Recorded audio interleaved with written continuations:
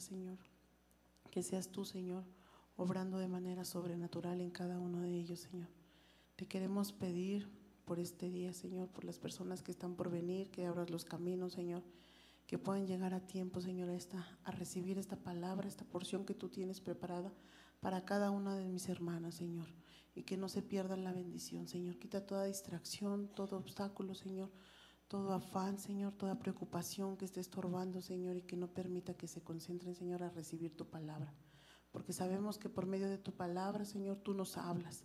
Hoy queremos, Señor, aprender de ti, queremos que tú nos hables, Señor, que queremos que tú nos instruyas, Señor, por medio de tu conocimiento, Padre.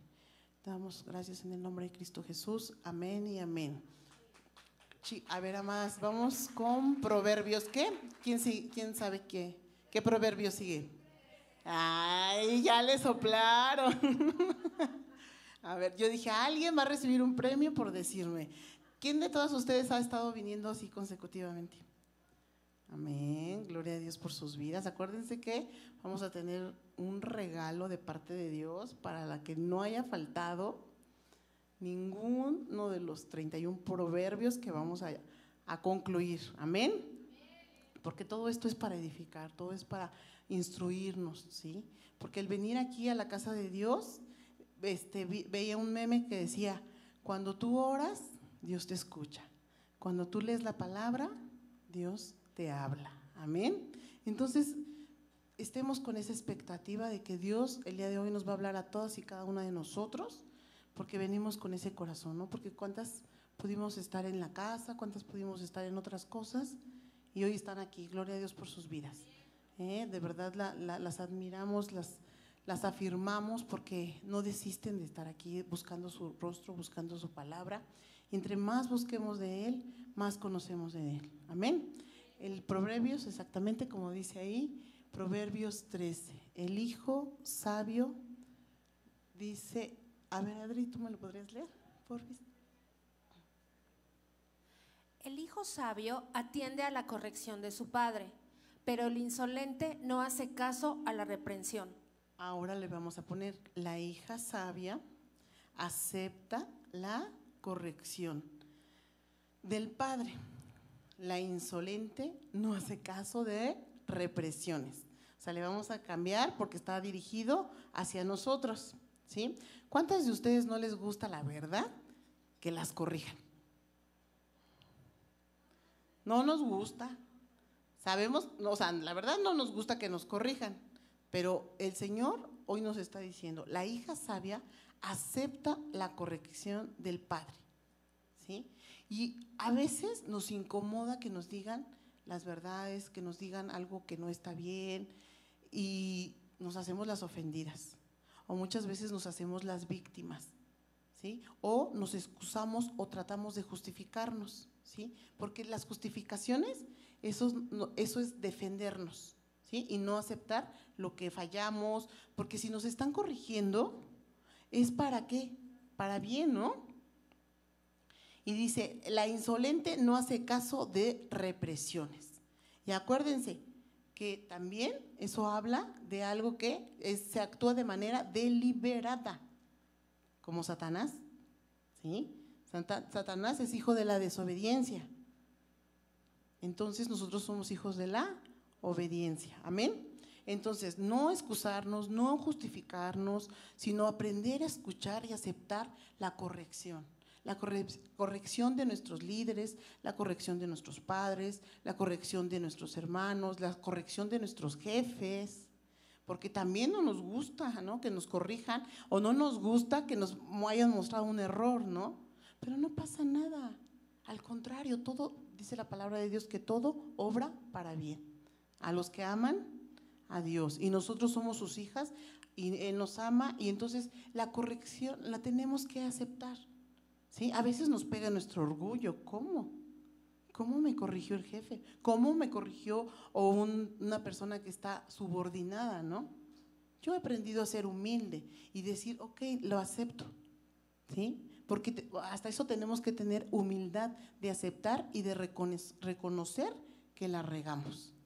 ¿Sí? ¿Por qué? Porque queremos ser sabias.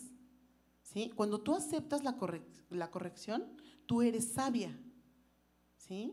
En esa sabiduría, nosotros venimos todos los martes a aprender, ahorita estamos en Proverbios, ¿y cuántas de ustedes no han aprendido este, a, a ser sabias? ¿No? Y nos ha estado instruyendo el Señor a través de su palabra. ¿Sí? No excusarnos ni justificarnos, porque pretextos hay muchos, sino al contrario, enfrentar el problema, enfrentar la situación en amor, confrontar, dice la palabra de Dios en amor, pero no justificar nuestros actos, no hacernos las víctimas, ¿sí? Porque yo me acuerdo que este, anteriormente, bueno, ya, ya, ya se los he contado, pero cuando teníamos mi esposo y yo problemas, él me la, me la revertía, me revertía, como en términos jurídicos, revertía la carga. Hacía algo así. Y entonces ya yo ya terminaba pidiéndole disculpas. ¿Sí? Cuando no es así el problema. Aceptemos la corrección, aceptemos lo que está pasando, porque eso nos hace ser sabias. ¿Sí? No nos justifiquemos, no nos excusemos. Amén. El, la siguiente lámina, por favor.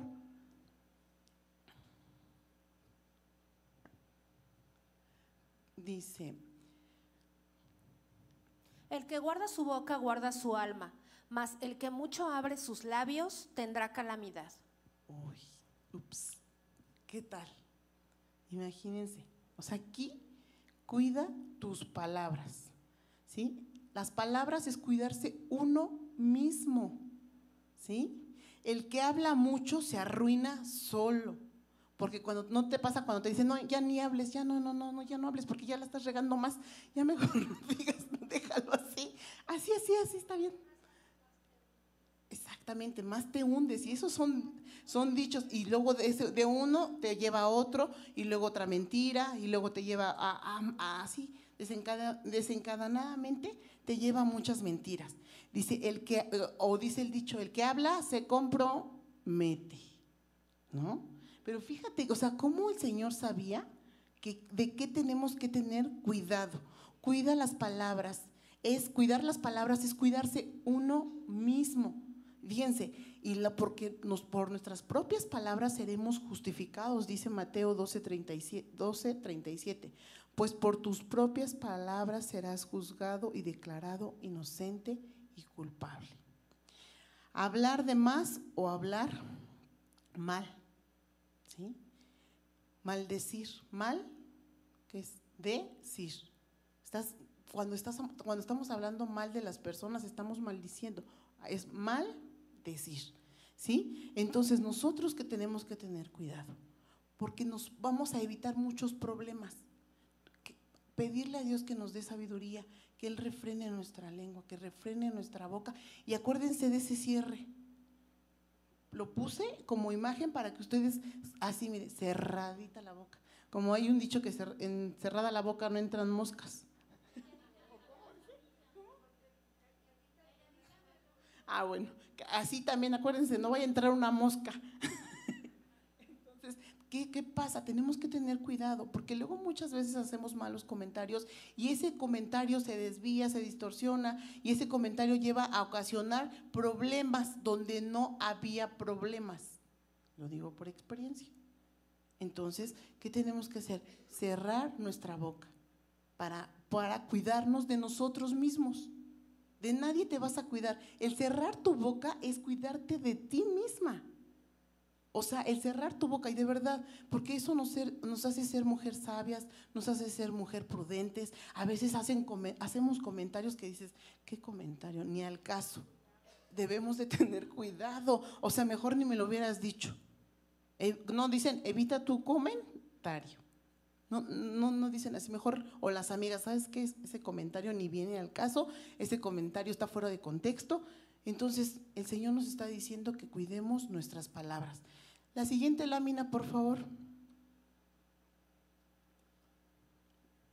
Hay palabras que duelen más que duros golpes. Cuida lo que hablas, ya que puedes herir aún a las personas. Debemos de tener cuidado con nuestras palabras, porque así como está esa, esa, esa mano, ahorita está representada por un hombre. No encontré, yo quería encontrar una de una mujer pero muchas veces nosotras mismas nos tiramos, nosotras mismas nos damos, nosotras mismas nos aventamos. cuando nosotros nos debemos de cuidar. Y de verdad, dice, cuida lo que hablas, puedes herir a los demás. Muchas veces decimos, es que yo soy franca y con eso te excusas. Lo digo por mí. Ah, porque yo soy franca, porque yo soy directa, porque a mí me gustan decir las cosas y herimos a las personas. Tenemos que ser cuidadosas con las cosas que decimos, porque ¿qué pasa? No, pues no, es que a mí prefiero que, que sepan que, que yo soy así. Pero aquí el Señor nos está dando una instrucción. El Señor nos está diciendo, ¿Para qué? Para evitarnos problemas, para evitar que dañemos a las personas, para evitar golpear. Porque imagínense, muchas veces las palabras son tan hirientes hacia las personas, en este caso, no sé si a tu esposo, a tu familia, a tu mamá, a tu este, novio, a tus compañeros de trabajo, a tus nietos, a infinidad de personas, con las personas que tú te rodeas, con esas personas tú puedes estar golpeando. ¿sí? Entonces nosotros tenemos que ser cuidadosas. Palabras que no golpeen, palabras que no edifiquen, palabras que, levanten, que, palabras que de aliento, de ánimo, tú puedes. O no, les pasa que la negativa, no, no. Ay, a mí, de verdad, no, no, no, no. No, eso no. Apenas ibas a hablar, espérate, espérate, ¿no? No. Y así, no. Y todo es no. Y todo es no. O sea, escucha, o sea, de verdad, aprendamos a escucharnos. ¿Cómo me escucho? ¿Cómo, ¿Cómo estoy hablando? ¿Cómo me estoy dirigiendo con las demás? ¿Estoy siendo una persona que edifica? ¿Que con mis palabras edifica? ¿Que con mis palabras da aliento? ¿Que con mis palabras da esperanza? ¿O soy una persona que hay queja? ¿Que hay dolor? ¿Que hay murmuración? ¿Que hay chisme? O sea, nos podemos ir infinidad con lo de la boca. Muchísimas cosas hay con lo de la boca. ¿Sí? Entonces, tenemos que tener ese cuidado, esa delicadeza. Acuérdense, ya los labios cerraditos, como cierre. Si no voy a, es como suturaditos, así, suturaditos, cerraditos. Mejor evitas problemas, evitas contiendas, evitas un conflicto, eh, te evitas muchísimas cosas. Y dice la palabra, te cuidas a ti mismo. Y dije, wow, Señor. Wow, porque cuando estamos en una reunión, ¿cómo se presta a hablar? Y se como dicen, nos vamos como hilo de, hilo de media.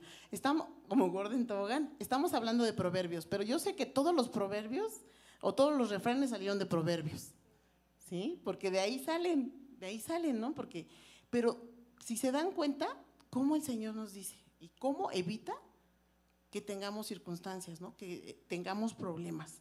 Entonces, ahora cuidemos nuestra boca Cuidemos el corazón de la persona que está a nuestro lado, que está con nosotros, ¿sí? que convive con nosotros, que no lo lastimemos, porque nosotros sabemos y somos tan hirientes que dices a la yugular. Y lo digo por mí. Y esta palabra, como dicen, el Señor te habla y el Señor te, te corrige, te convence, te instruye. Y, y, como dicen, como empezamos, el hijo sabio, la hija sabia acepta la corrección. Y sí, Señor, gracias porque hablaste a mi vida. Porque hoy sé que tengo que ser prudente. Hoy sé que tengo que cerrar mi boca, que no tengo que lastimar los corazones. Y que, como dicen, chéquense si están hablando bien, si están hablando incorrectamente. ¿Sí? Escúchense. Porque a veces nada más hablamos por hablar y no nos, no, nos damos cuenta. Ya cuando dice, ya la regué, no tenía por qué haber dicho esto. Pero somos emocionales, somos impulsivas y lo decimos. Ahora sí, lo vomitamos cuando tenemos que ser precavidas. La siguiente lámina, por favor. El justo aborrece la palabra de mentira, mas el impío se hace odioso e infame. La justicia guarda al de perfecto camino, mas la impiedad trastornará al pecador. Media verdad más media verdad, una mentira. ¿Qué nos está diciendo el Señor? Proverbios 13 del 5 al 6. El hombre justo odia la mentira. El malvado es motivo de vergüenza y deshonra. La rectitud protege al hombre intachable y la, de, la maldad destruye al pecador. ¿Ya vieron? pues, es media mentira. No, media verdad más media verdad es una mentira. Cuando nosotros debemos de tener esa libertad porque ya estamos en Cristo Jesús y no podemos estar llenas de mentira, llenas de engaño. Tenemos que vivir y caminar con esa libertad que Dios nos ha dado en Cristo Jesús. Porque yo les digo, puedes decir, eh, cuando te dicen, diles que no estoy. No, no, no, no quiero atender la llamada. Tú puedes decir que no puedes, o sea, no tienes por qué mentir. Media verdad. Puedes, lo que tienes que decir, no estoy disponible, en este momento no puedo, te regreso la llamada, este, pero puedes decir la verdad. ¿Y qué estamos acostumbrados? A decir una mentira. O sea, hay palabras que, o hay, hay, este, hay formas de cómo decir la verdad sin caer en una mentira, ¿sí? Porque Satanás es el padre de la mentira. Y ojo, mujeres, ojo, en nosotros no debe de haber engaño, nada de engaño, porque si queremos ver cielos abiertos en nuestras vidas, en nosotros no debe de haber engaño. Ah, si me da tiempo, les voy a compartir un pedacito, ¿por qué no debe de haber engaño? O les comento lo del engaño. ¿Sí? Bueno, es que me voy a salir, me voy a salir de, Proverbios para pasarme a Juan, primera de Juan, por Juan 1.45. ¿Por qué no debe de haber engaño? Felipe, vamos a ver la historia de, Felipe y Natanael, las que estuvieron en Conociendo a Jesús, ¿la escucharon? Y este, pero, pero es importante porque no debe de haber engaño. ¿Por qué, en nosotros no debe haber ninguna mentira? Primero, tenemos que agradar nosotros a Dios. ¿sí? Tenemos que siempre, siempre en todo momento, nuestra, nosotros tenemos que agradar a Dios. Hebreos capítulo 1, 9 dice, has amado la justicia y aborrecido la maldad, por lo cual te ungió Dios, el Dios tuyo, con óleo de alegría más que a tus compañeros. Amén. ¿Cuántas están ungidas con óleo de alegría? ¿Sí? Temer a Dios es algo más allá de tener miedo. Temer a Dios es amar lo que Dios ama y odiar lo que Dios odia. ¿Sí? ¿Para qué? Para que te unja con óleo de alegría. Amén. Luego dicen, ¿por qué unos están más ungidos? ¿Por qué otros no están ungidos? Porque ellos aman más la justicia y aborrecen la maldad. Y cuando tú empiezas a aborrecer la maldad y empiezas a tener el temor de Dios y querer agradar, de, agradar a Dios, en este caso vas a decir, yo ya no voy a mentir porque quiero agradar a Dios. Él te va a ungir con, con óleo de alegría. Y aparte en Salmos 25, 14 dice, la comunión íntima de Jehová es con los que le temen y a ellos le hará conocer su pacto. Cuando tú empiezas a caminar en la bendición de Dios, cuando tú empiezas a obedecer a Dios y cuando tú dices, Señor, yo no voy a mentir más, yo no voy a ensuciarme, no voy a mancharme, porque yo te voy a agradar a ti, yo te voy a obedecer a ti, no voy a agradar a los hombres, tú empiezas a tener esa comunión íntima con Dios. Amén. Y entonces Él te empieza a conocer, te da, te empieza a revelar su pacto. Vayamos, eso, eso es así como que, porque una cosa es la obediencia y otra cosa, como es la actitud de tu corazón. Les decía un ejemplo de un músico que le dicen vas a limpiar ese, ese, este, estas, estos instrumentos. Ay, porque me, me tocó a mí, siempre me, me, cargan la mano, este, y yo no me duele ahorita que tengo reuma. Y el otro dice, ay, aquí está, mira, te tocó este limpiar los instrumentos. Gloria a Dios, qué privilegio, es mejor dar que recibir. O sea, hay una actitud distinta. Los dos obedecieron, pero uno de mala gana y el otro de buena manera. Y dice que el Señor prueba las intenciones de tu corazón, de cada uno conforme a sus, a sus obras. Y a nosotros no nos vas a engañar. Porque dice la palabra de Dios que Dios no puede ser burlado. A, en nosotros, a nosotros no nos vas a poder engañar, ¿sí? Porque Él sabe quién eres, ¿sí? Aquí los que todos, los que servimos, no necesitamos un título en la iglesia, porque nuestra autoridad, nosotros necesitamos amar la justicia y el Padre que está en secreto nos los recompensará en público. Amén. Entonces, por eso no debe de haber engaño. Pero me voy más adelantito. Dice, limpio de manos y puro de corazón, el que no ha elevado su alma a cosas vanas ni jurado con engaño, él verá el rostro de Dios.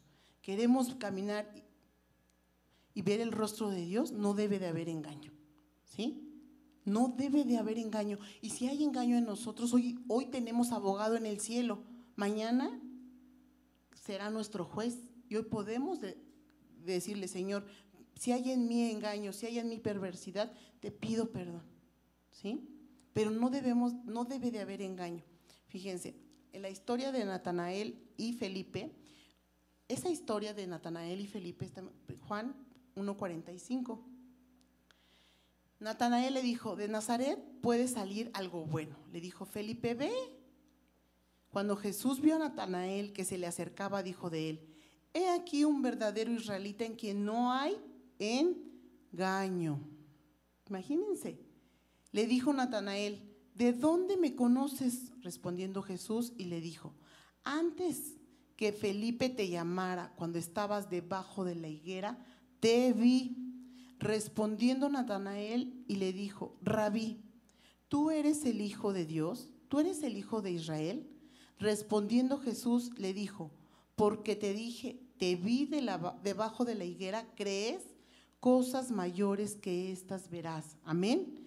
Y dijo, de cierto, de cierto os digo, de aquí en adelante, de aquí en adelante verás el reino Verás el cielo abierto y los ángeles de Dios que suban y desciendan sobre el Hijo del Hombre. O sea, esta historia de Felipe y de Natanael nos está hablando de cómo Jesús reconoció que en él no había engaño. Entonces, por eso es que Dios nos dice en este versículo, ya me las voy a traer para acá, por eso nos dice que no debe de haber engaño, no debe de haber mentiras en nuestras vidas. Porque es de gran importancia, porque si queremos ver el rostro de Dios, porque si queremos que el Señor nos revele sus pactos, porque si queremos que nosotros, dice, este, veréis el cielo abierto, es lo que les decía, no esperen a las calles de, a las calles de oro y que el día de mañana, que yo pueda abrir mis ojos y que esté el, las calles de oro, es, el reino de los cielos acercado, dice, porque estaba el Jesucristo dio su vida por nosotros. Y nosotros vivimos, debemos de vivir en el reino de Dios, en el aquí. Amén. Y entonces, ¿de qué manera nosotros vamos a poder, el Señor nos va a dar revelación de su palabra?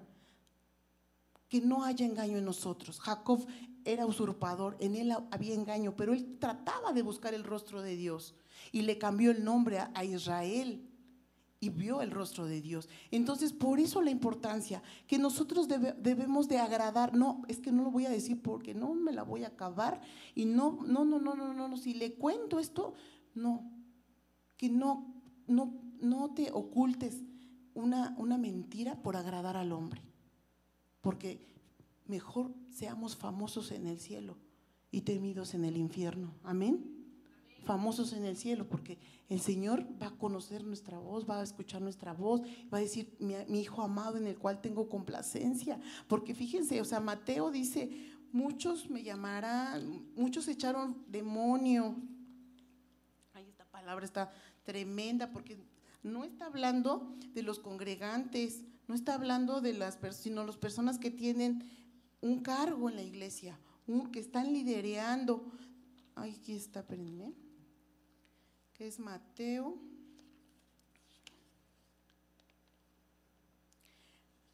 Ay, no sé si lo tengan ahí. Siete, ay, gracias, Susi, porque te... ¿Siete qué? Ajá. ¿Alguien, ¿Me lo pueden tener ahí, por favor?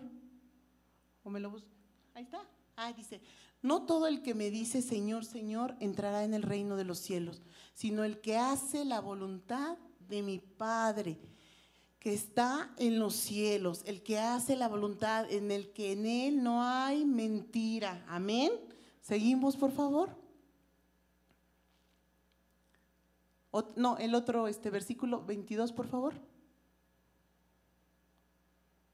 7.22. Sino el que hace la voluntad de mi Padre, que esto es, dice, muchos me dirán en aquel día, Señor, ¿no profetizamos en tu nombre?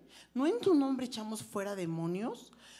¿Y no en tu nombre hicimos muchos milagros? O sea, imagínense, esta palabra está fuerte porque está dando a los que echaron demonios, está dando a los que este, profetizaron, a los que hicieron milagros. ¿Y qué dice el siguiente versículo, por favor? Y entonces les declararé, nunca os conocí, apartados de mí, hacedores de maldad. Qué tremenda palabra, ¿verdad? Qué tremenda palabra que, que echaban demonios, que sanaban enfermos, que hacían milagros y que dice apartados de mí hacedores de la maldad. Hoy vivimos bajo la gracia. Hoy tenemos, fuimos justificados por la sangre del Cordero. Y hoy podemos ir al trono de su gracia y decirle, quita todo engaño, Señor. Yo quiero que me, yo quiero ver tu rostro, yo quiero reflejar tu luz, yo quiero vivir en esa intimidad contigo. Ya no más estar usurpando, ya no más estar engañando. Amén. Porque eso, eso, todo esto lo que les estoy dando el contexto es precisamente, o sea, no crean que, porque sí, las medias mentiras, ¿no? El hombre justo, dice, el hombre justo odia la mentira y el malvado es motivo de vergüenza y deshonra. La rectitud protege al hombre intachable, la maldad destruye al pecador. Nosotros solamente debemos de caminar para agradar a Dios, en integridad, ser mujeres de una sola pieza, que tú sí sea sí, que tú no sea no. Amén. ¿Por qué? Porque tenemos, estamos aquí preparadas, somos apartadas. Todas las que estamos aquí, el Señor nos apartó para sus propósitos. Todas las que estamos aquí estamos con un propósito y nos vamos a ver allá glorificándonos con el Padre. Pero también tenemos que vivir el reino de Dios que está aquí en los cielos. Amén. No nada más estar esperando que el día de mañana, cuando llegues allá, les decía, llegues allá, te voy a decir, tuviste todo, hija. Tenías todo para poder disfrutar y no lo disfrutaste. Ay, es que yo pensé que cuando llegáramos, no. El reino de los cielos está aquí. Venga, por eso oramos, venga tu reino que tu reino se establezca, que su reino, el reino de Dios se establezca en tu vida, pero a través de una integridad, de ser esas mujeres de una sola pieza, de no ser engañadoras, de no dar mentira y dar lugar al diablo, porque Él es el padre de la mentira. Y entonces, ¿a quién agradas? ¿A Dios o Satanás? ¿A Dios? Amén. ¿Sí? Entonces, cuando venga una mentira, acuérdense del cierre, acuérdense de, de todo eso. No, podemos hablar la verdad podemos hablar verdad porque Cristo es verdad. Amén. Y miren, o sea, esta palabra no está parando para las ovejas. Profetizamos, echamos fuera demonios. Dije, ay Señor, está hablando, o sea, está hablando de personas que están en un servicio, personas que estamos liderando, personas que estamos ya con un cargo. Y dice, Señor, pero Qué, tremendo, ¿no? Como dice, nos está corrigiendo, nos está instruyendo. Y entonces si hoy, si tú eres sabia, vas a aceptar la corrección que te está hablando el Señor. Media verdad más media verdad es una mentira. Amén. Vayamos a la siguiente lámina, por favor. Me salí un poquito, pero de verdad que valía la pena. Hay quienes pretenden ser ricos y no tienen nada. Y hay quienes pretenden ser pobres y tienen muchas riquezas. ¿Cómo ven esto?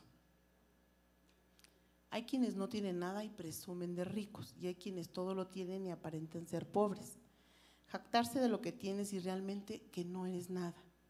Dice la palabra de Dios que dice que el que mucho sabe, no sabe nada. ¿Era si se lo saben? ¿Sí? El que, el que mucho sabe, no sabe nada, porque el único que sabe todo es nuestro Padre que está en los cielos. Porque hasta Jesucristo dijo, este, le dijeron bueno, y dijo, ¿por qué me llamas maestro bueno? Solamente mi Padre que está en los cielos es bueno. Entonces dice, jactarse de lo que tienes y realmente no son nada, dime que qué presumes y te diré de qué esto les digo que salieron los dichos populares, pero de aquí tienen su origen, el génesis, de dónde viene la raíz de todo. O sea, ya se dan cuenta cómo, de, cómo quieren la palabra siempre imitarla. A los ricos, dice la palabra en 1 de Timoteo 6, 17, 19. A los ricos de este siglo manda que no sean altivos, ni pongan la esperanza en las riquezas, las cuales son inciertas, sino en el Dios vivo, que nos da todas las cosas en abundancia, para que las podamos disfrutar. ¿Ya vieron? ¿Ya vieron cómo el Señor nos está hablando? Que las disfrutemos aquí, en el ahora. Que hagan bien, que sean ricos en buenas obras, dadivosos, generosos, atesorando para sí buen fundamento para lo porvenir, que echen mano de la vida eterna. Pero ya vieron que habla de que disfrutemos. ¿Y cuántas de ustedes les cuesta disfrutar sus cosas y prefieren dárselas a los demás?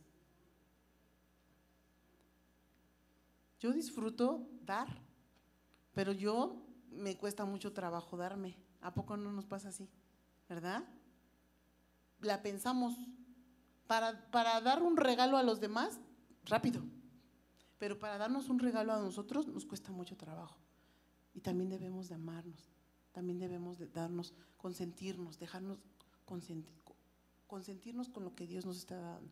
Disfrutarnos, irse a un spa, irse a un masajito, irse a, este de vez en cuando a, darse una arregladita. Disfrutemos lo que Dios nos está dando. Amén. Dice, raíz de todos los males es el amor al dinero. O sea, en 1 Timoteo 6 dice, raíz de todos los males es el amor al dinero. Y también aquí, sea, la palabra en Proverbios nos está diciendo, no tiene nada, porque hay gente que tiene mucho, tiene mucho que dar, tiene, y miren, está calladita y no dice nada. Y hay gente que no tiene, y yo esto, y yo el otro, y yo sé, y yo el otro, y no tiene nada. ¿Podemos ir a la lámina, por favor, de donde está el dinero, que es la lámina 5, para que ustedes vean? O sea, hay quienes pretenden ser ricos. O sea, tienen, dicen, no, yo tengo esto, yo tengo el otro, pero esas personas son pobres en el espíritu. O sea, nos estamos yendo a lo del espíritu, porque no tienen nada. Y yo hago esto, yo doy esto, yo, y al final de cuentas no sé nada. Y entonces nosotros tenemos que, y hay quienes tienen mucho, muchísimo, y no se jactan de dar, de decir y ni de hacer. O sea, solitos, calladitos. ¿Sí? Hay quienes tienen mucho, mucho, mucho, pero no, y hay quienes son, quienes tienen, tienen todo y, y aparentan ser pobres, es lo que les decía. Y no tienen, hay unos que tienen, no tienen nada y presumen de ser ricos. ¿No les ha pasado así? ¿Conocen a alguien así? Sí, ¿verdad? Pero entonces, pues hoy nos está, nos está diciendo, ¿no? Que tenemos que ser mujeres de una sola pieza. Amén. Por favor, la otra lámina. Ciertamente la soberbia concebirá contienda, mas con eh, los avisados está la sabiduría. El, orgullo lleva a conflictos, los que siguen el consejo son sabios. Amén. ¿Cuántas de aquí hay orgullo? A ver, dice, el orgullo solo provoca peleas, la sabiduría está con los humildes. ¿sí? El orgullo es una actitud del corazón. ¿Cómo está? ¿Cómo cuando tú tienes, hay veces que tú dices, ya la regué. ¿Eres humilde o eres orgulloso? Cuando lo aceptamos hay humildad, ¿verdad? Y cuando no, arrogancia, soberbia, altivez, ¿sí? Y fíjense cómo dice, el orgullo genera contienda, o sea, el orgullo genera pelea, porque si en ti está la prudencia, si en ti está que tú puedes ser una persona que cabe la prudencia, que seas humilde y que no, no, no estoy diciendo que te eches la culpa de todo, ¿no? Pero simplemente te está diciendo aquí la palabra de Dios, el orgulloso pelea, provoca peleas, ¿sí? Si tú no eres orgullosa ante un conflicto, ante una situación, ya no vas a provocar un conflicto. Pero ¿qué pasa si en ti está ese orgullo? Ah, pues que me pida perdón. Ah, pues que venga ella primero. Que de ella primero el paso. Ah, no, como yo. No, ya me la hizo una vez y va a querer nuevamente hacérmela. No, amadas. Demos ese primer paso de la reconciliación, que tengamos humildad. Para, ¿Ustedes quieren sacarle una sonrisa a Dios? Amén. Pues en nosotros no debe de haber ese orgullo, al contrario, debemos de ser humildes, como Él, manso y humilde de corazón. Amén. Porque entre más nosotros hacemos la palabra, entre más nosotros empecemos a, querer agradar al Padre, más nos vamos a reflejar a Él. ¿Sí? Y queremos ser sus hijas y queremos que, que, la gente vea su rostro, que la gente vea en nosotros su rostro y que nosotros podamos ser utilizadas por Él. Cuando cuántas de nosotros somos éramos conflictivos, éramos, porque ahorita ya no vamos a hacer, amén, pero éramos para todo, mechita corta. no es que a mí no me prendan esto, porque si no, yo, yo soy mecha corta. A mí nada más me tocas este punto y me agarro, ¿no? Pero no, eso es orgullo. El orgullo provoca las peleas y la sabiduría está con los humildes. Cuando tú puedes evitar un conflicto, tú puedes evitar una pelea con tu esposo, tú puedes evitar una pelea con una amiga, tú puedes evitar un, problema en tu trabajo. Solamente tienes que tener una actitud. ¿Cuál es? Humildad. Humildad, amados. Y con eso te vas a evitar contiendas, conflictos. Amén ser sabias y no contenciosas. ¿sí? Deja el orgullo a un lado y eso te hace ser humilde.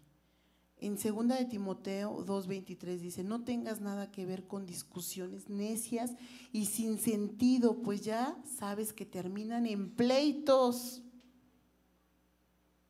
O sea, no tengas que ver si empezaron a pelear, si empezaron a insultarte, si empezaron a decirte, si te empezaron a discutir, no tengas discusiones necias sin sentido.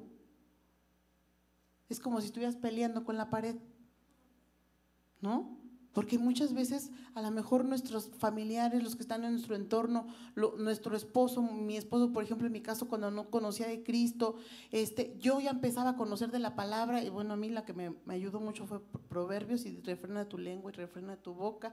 Y entonces me quedaba calladita me la aguantaba, como dicen por ahí, me la aguantaba. Y eso hacía que me calmara, eso hacía que me menguara, eso hacía que, que en él viera en mí a Cristo Jesús. Amén. Pero fíjense, o sea, segunda de Timoteo, no tengas nada que ver con discusiones, no te metas. Necias y sin sentido. Yo, ¿sabes qué decía? Si yo me pongo a pelear con mi, con mi, este, mi esposo de la palabra, es como hablarle a la pared porque Él no me está entendiendo, no estamos en el mismo canal. Cuando Él empiece a conocer de Cristo, cuando Él empiece a caminar, Dios le va a quitar la venda de los ojos, los tapones de oídos, va a empezar a ver cosas distintas y gloria a Dios. Pero si no te dice, no, te no tengas nada que ver con discusiones necias, ¿por qué estás con la necesidad de estar queriéndole dar bibliazos a tu esposo, de darle bibliazos a tu hijo? cuando él no tiene ahorita el entendimiento. ¿Sí? El Espíritu Santo poco a poco, en la medida que Él va a ir, aceptando, porque ¿a cuántas de nosotros no nos ha costado hasta, hasta la fecha entender cosas? Entonces imagínense a ellos que están todavía en las tinieblas, que ellos están en la oscuridad. Entonces debemos de ser también comprensivas y tener esa sabiduría que viene de Dios y que hoy nos está diciendo, no tengas nada que ver con discusiones necias y te vas a evitar un conflicto en tu trabajo, ¿sí? Pues ya sabes que terminan en pleitos. ¿Cuántas de nosotros ya sabemos que si yo le digo esto a mi hijo, si le digo esto a mi esposo, se va a enojar? ¿Y aún así lo seguimos haciendo? A veces. Pues ya sabemos, yo, yo también ya le conozco. Me dice Arturo, ¿por qué me dices nada? Porque vengo ahorita regañada, ahorita no, me puedo, no te puedo decir. Y se empieza a reír. Y se empieza a reír, ¿no? O sea, porque por X cosa o algo, le digo, no, ahorita no te puedo decir porque vengo regañada. He, te, he aprendido a ser sabia, hablar cuando, cuando voy a hablar, ser prudente cuando no, o sea, cuando no tengo que hablar, Pero cuando no, como dice la palabra, incendiamos hasta el bosque con nuestra propia boca. Entonces, seamos cuidadosas. Amén. Segunda de Timoteo 2:24, porque el siervo del Señor no debe ser contencioso. Ouch. A ver, para las paelioneras. Pero si era contenciosa Lalita, ¿verdad? Era. Pero no, pues es que a mí, pues las abogadas, ¿cuántas somos contenciosas las abogadas? Lo contenciosa. Dice, el siervo del Señor, o sea, las siervas del Señor, no deben ser contenciosas, sino amables para con todas, aptas para enseñar, sufridas. Ay, pero eso va en contra de lo que me dice la sociedad, de lo que me dice el mundo, de lo que me dicen mis amigas, no te dejes, no esto. Eso va en contra de todo, ¿no? Acuérdense que nosotros vamos contracorriente. Amén. Pero Dios, que es sabio, que es esa sabiduría de lo alto que lo dejó en Proverbios, quiere que nosotros nos evitemos muchos conflictos, que nos evitemos contiendas. No te metas en eso. Ya sabes, ¿para qué me voy a meter esto? Ahí nos vemos. Porque, ¿para qué? Si, está la, si la persona está en la necedad, no conflictúes con un necio. Más necias, así es. La siguiente lámina, por favor.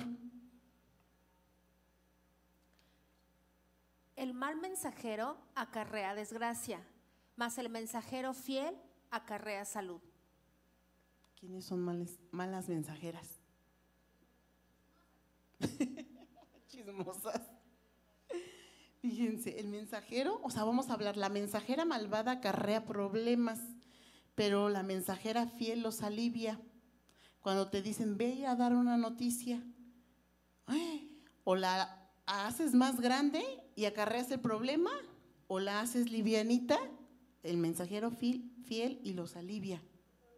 Y nos lo dice. ¿Cómo hay? O sea, tenemos que tener cuidado cómo damos las noticias, ¿no? ¿Cómo vamos a dar ese mensaje? ¿Cómo vamos a hacer? Malvado acarrea problemas. Amén. Malas intenciones para dar la noticia y ocasionan problemas. ¿Qué crees? Que me acaban de decir esto. Pero no le digas esto, pero esto, pero el otro. Y entonces empiezas a distorsionar cuando no era una cosa así. Cuando tú tenías que decir nada más una, no se me viene ahorita aquí un ejemplo, pero que tú ya fuiste un mal mensajero. ¿Sí? Yo prefiero que no me digan. Así le, pero mi jefe decía, yo no soy bodega para guardar cosas o bote de basura. Y de verdad así me empiezan a decir, es que esto, que... no, no, no, no, no. ¿Por qué? Porque yo no me quiero meter en un problema. Y no, es que no te voy a contar, no, mejor, mejor, no quiero que me cuentes. No, yo prefiero evitarme de verdad que me cuenten o que, me, o que esté enterándome. Yo, yo soy, porque precisamente te evitas y no te, te inmiscuyen en, en, las cosas, ¿no? Entonces, tenemos que aprender a ser sabias. Amén. Júntate, ajá, 13:20. El siguiente, por favor. El que anda con sabios, sabio será. Amén. Fíjense. El Espíritu Santo te da el discernimiento para escoger tus amistades. Amén. ¿Tú sabes que no puedes ser amigo de todo mundo? Hay cuatro tipos de personas con las que tú te juntas. Las que suman, las que restan, las que multiplican y las que dividen. Debemos de andar con las que suman y con las que multiplican. Amén. Las amistades que restan, que dividen, evítalas. Evítalas. ¿Sí? Las que hablan mal de las personas, las chismosas, las indiscretas, evítalas. Tú, el Espíritu Santo te da discernimiento a quién le vas a contar tus cosas, a quién le vas a platicar tus cosas, pero te dice, evítalas, ¿sí? Ahorita te voy a decir dónde te dice. Las amistades con las que restan y dividas, no te metas, ¿sí? No te metas con ella. Y de verdad es palabra de Dios lo que ahorita van a ver. El Señor te está diciendo, las que dividen y las que restan, no te metas. Él te ha dado el discernimiento para saber a qué amistades vas a elegir. Vamos a Segunda de Timoteo 3, 5, por favor. Bueno, yo se los leo. Aparentarán ser piadosas, pero su conducta desmentirá el poder de la piedad. Con esa gente ni te metas. Este es la, la NBI. Ahorita el que están allá leyendo, estos evita, pero la NBI dice, no te metas, o sea, evítalas. O bueno, vayámonos a, a la Reina Valera, evítalas. Evita a las personas Evita a las personas que no te edifican, como les decía, esas personas negativas, esas personas tóxicas, esas personas que, lejos de ayudarte nada más están quejando, que lejos de ayudarte nada más están dando un mal consejo, que no les ha dolido la cabeza, que, que, dices ya se vino a vomitar y que todo mal, que negativo y que todo este, destrucción, ¿eh? quejándose. O sea, no también por eso no vamos a ser indolentes, no, esta no me voy a meter porque ya vino, no, no, no, tampoco. Pero te está diciendo, evítala, evítalas. Y en la NBI dice, con esa gente ni te metas. Ahora te voy a hacer una pregunta. ¿Qué tipo de mujer eres tú? ¿De las que suman? ¿De las que dividen? De las que restan o de las que multiplicas. Está tremendo, ¿verdad? Tenemos que hacer esa reflexión y ese alto total. ¿Está siendo, está esa, persona, esa persona que se multiplica o está siendo esa persona que divide? Porque en el mundo dicen, divide y vencerás. Pero a Dios no le agrada que dividamos. Él quiere que nos multiplicamos, Él quiere que nos reproduzcamos, Él quiere que nosotros sumemos, que levantemos las manos a las mujeres que estemos aquí, amén. Entonces, ¿qué tipo de mujeres eres? Yo te lo dejo de tarea para que tú reflexiones y digas, Señor, estoy multiplicando, estoy dividiendo, estoy restando para tu reino, estoy dividiendo, ¿qué estoy haciendo, Señor? Porque nosotros no puede producir un engaño. No puede, no puede haber engaño en nuestras vidas, porque si no, no vamos a reflejar el rostro de Dios, no vamos a reflejar lo que Dios tiene preparado para nosotros. Amén. Por favor, la siguiente lámina. El que anda con sabios, sabio será, mas el que se junta con necios será quebrantado. Ahí está, nos está diciendo las, las malas compañías. Estamos hablando de las mujeres tóxicas mujeres que te echan a perder, mujeres que se la pasan hablando mal de personas. El necio te echa a perder, no te edifica, mujer, no te edifica. Tú puedes ser un puente, ¿sí? O puede ser un muro. Ojo, aquí pongan atención. El puente qué hace? Pasa de un lado, pasa del otro, exactamente. El puente critica, el puente lleva, va a un lado, va al otro, ¿sí? Y el muro para y dice, no me hables de esto, no me cuentes. ¿Qué quieres ser? ¿Un puente que lleva y trae? ¿O un muro? Un muro, porque nos vamos a evitar muchos conflictos. Amén. La gente que está siendo necia no está siendo dominada por la palabra de Dios. Es fácil saberlo porque dice de la abundancia del corazón habla la boca. Debemos de hablar verdad, hablar la palabra de Dios. Amén. Por favor, la última lámina. El que detiene el castigo a su hijo aborrece, mas el que lo ama desde temprano lo corrige. Amén. Nosotros ahorita ya cerramos, fíjense qué, tremenda palabra de Dios. Empezamos con lo de, lo de Proverbios 13.1, que el hijo, la hija sabia acepta la corrección. ¿Cuántas hoy aceptamos la corrección del Padre? Amén. Amén. Amén. Amén. Amén. Porque esa es una corrección del Padre. Porque Él nos ama. ¿Sí? Y fíjense, dice, el que detiene el castigo a su hijo aborrece, mas el que lo ama desde temprano lo corrige. ¿Sí? O sea, desde temprano. Corregir a tu hijo es amarlo desde temprano. Corregirlo en privado y no exhibirlo, porque también es otra cosa que tienes que corregirlo en privado, que tienes que direccionarlo, instruirlo y no en público ni exhibirlo, ¿sí? Porque cuando tú detienes el castigo, entonces dice la palabra que lo aborreces, porque entonces no lo estás amando. Entonces, amas a tu hijo, corrígelo. Amén. Entonces nada de que no, yo no quiero pasar, no, es que mi mamá me trató muy mal, no, es que yo no quiero que mi hijo viva lo que yo viví y entonces evitas el castigo. O sea, tenemos que, tenemos que, o sea, cuando se corrige, se debe de corregir en el amor, sin exhibición, en lo secreto, pero tenemos que corregirlo. O sea, la vara de la corrección, está ahí la palabra de Dios, nos habla acerca de la vara de la corrección.